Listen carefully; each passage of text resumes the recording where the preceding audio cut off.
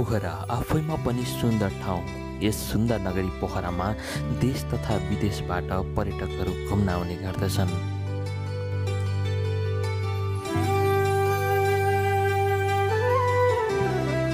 आज यही सुन्दर नगरी पोखरामा रहेको यस्तो प्रतिष्ठित ठाउँको बारेमा तपाईँहरूलाई आज चिनारी दिन गइरहेका छौँ त्रिभुवन विश्वविद्यालय अन्तर्गत इन्जिनियरिङ अध्ययन संस्थानको आङ्गिक क्याम्पसको रूपमा रहेको यस पश्चिमाञ्चल क्याम्पसमा देशका विभिन्न भूभागबाट दक्ष तथा कुशल इन्जिनियर बन्न विद्यार्थीहरू आउने गरेका छन्। यस क्याम्पसको कुल क्षेत्रफल तिन सय बाह्र रोपनी रहेको छ। यहाँ करिब सोह्र सत्र सय विद्यार्थीले अध्ययन गर्ने गरेका छन्।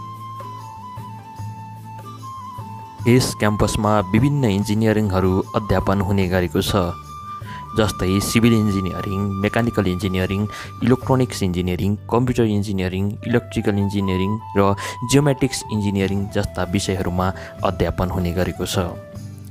त्रिभुवन विश्वविद्यालयमा नै यो यस्तो कलेज हो जहाँ जियोमेट्रिक्स इन्जिनियरिङको अध्यापन गराइन्छ। यस क्याम्पसमा उचित छात्रावासको पनि व्यवस्था मिलाइएको छ। बोइज अनि गर्ल्सको लागि छुट्टा छुट्टै होस्टेलको सुविधा मिलाइएको छ। उचित खेल मैदानको पनि व्यवस्था गरिएको छ। यस खेल मैदानमा क्रिकेट र फुटबलका विभिन्न खेलहरू हुने गर्दछन्। यहाँबाट पास आउट भएका विद्यार्थीहरूले यस क्याम्पसको यस खेल मैदानलाई धेरै नै मिस गरेको बताउने गरेका छन्।